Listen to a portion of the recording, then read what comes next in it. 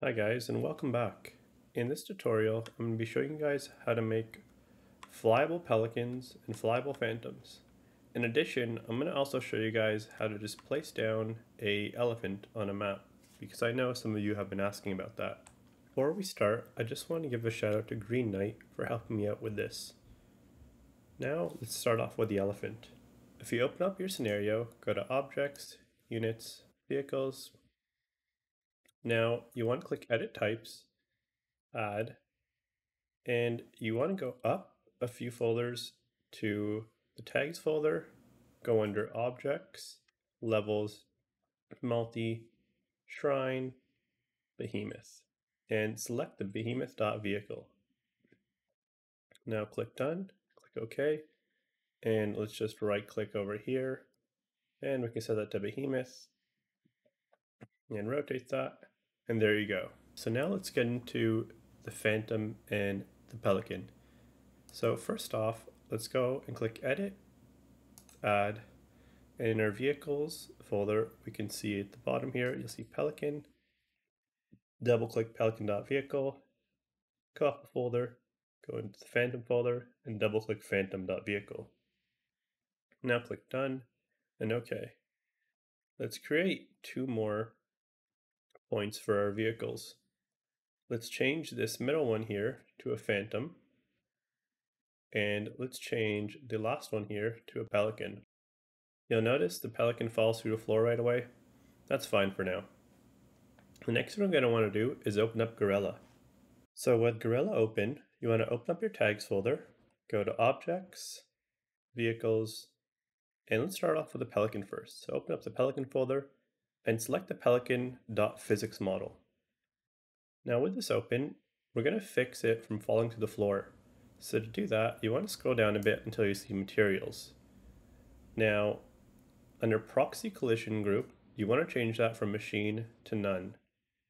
The Pelican only has one material, so that's all we need to do. So now hit Control S and let's see our changes back in Sapien. So here in Sapien, it's already gone through the floor here, but if I lift it, you should see it fall, and now it has collision.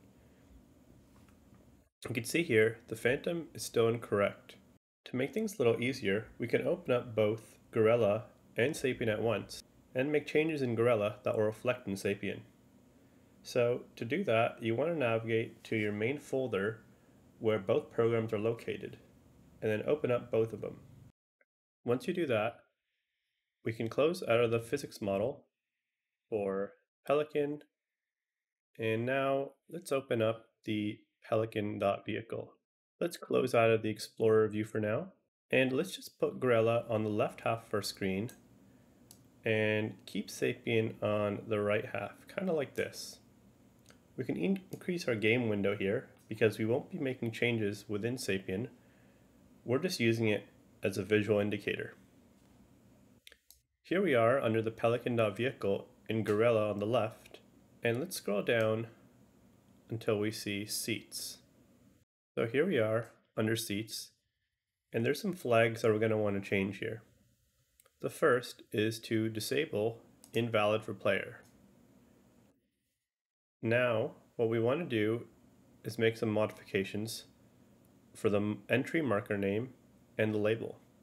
For the entry marker name, you just want to write Pelican D. You can just copy and paste it from the label or the marker name. The next thing you're going to want to do is change the name of the label. Replace the word Pelican with Warthog. So now that we've done that, we could just save right here in Guerilla, and then we can click here in Sapien, and let's go up to the Pelican, and you won't get anything that says you're allowed to enter. If you hold E on your keyboard, there you go. You can now enter the Pelican and you can fly it. Cool. So now let's start off with the Phantom. So for the Phantom, we're going to want to open up the physics model first. In Guerilla here, let's just open up your Explorer bar again. We can minimize the Pelican and then open up the Phantom folder and double click on phantom.physics model. All right, so let's just actually make this a little bigger here and get this set up correctly. Let's close out of the pelican.vehicle and let's make this window bigger. And for now, all we're going to be doing is making the collision work. So let's scroll down a bit until we see materials. Let's make this bigger. And you're going to see the Phantom has multiple materials. The only one that you're going to want to change is the hard metal thick. Change that proxy collision group from machine to none. Now you could save and we'll see the changes reflected in Sapien. So let's click on our Sapien window. You can see now the Phantom sits properly. Let's go back into Guerilla and close out our physics.model and let's go under the phantom.vehicle. Now let's close out of our Explorer view and make this side by side again, just like that. So here, you want to scroll down a bit again until you see seats.